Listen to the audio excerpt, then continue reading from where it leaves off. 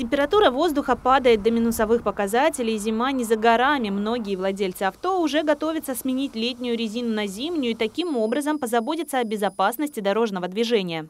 Ссылаясь на нормативно-правовой акт, технический регламент Таможенного союза о безопасности колесных транспортных средств, необходимо в период э, декабрь январь-февраль, три месяца оборудовать автомобиль зимней резиной. Однако госавтоинспекторы рекомендуют не дожидаться календарной зимы, а поменять шины автомобиля в тот момент, когда столбик термометра опустится ниже нуля.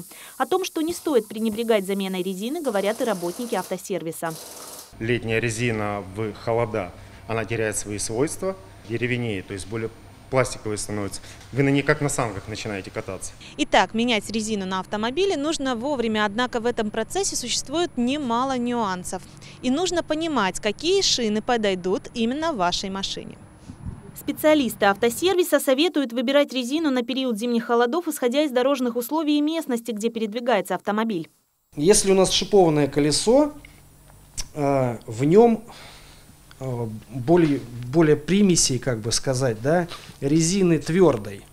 То есть, чтобы держался шип, минус 20 э, температурный режим, то это колесо с остановкой не справится так, как справится липучка. Ну, как ее называют, липучка. Почему? Расскажу.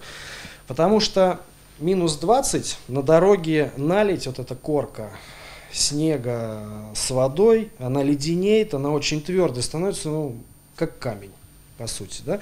И шип ее не пробьет. Тормозной путь на льду увеличится у шипованного колеса, нежели как у липучки. Случаев заносов на дороге, покрытой коркой льда, немало. Зачастую такие дорожно-транспортные происшествия заканчиваются плачевно, причем не только для самого автомобиля, но и человека. А потому необходимо заблаговременно позаботиться о смене шин, не подвергать опасности себя и окружающих.